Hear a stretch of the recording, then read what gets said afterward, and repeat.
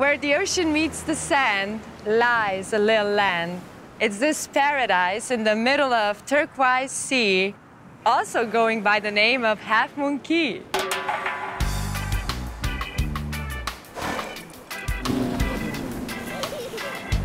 You have this beautiful land that's untouched by man. The beach is beautiful. You dip your toes into the water and you can see them. My perfect day in Half Moon Cay would be horseback riding. It's the most unique experience you can ever have.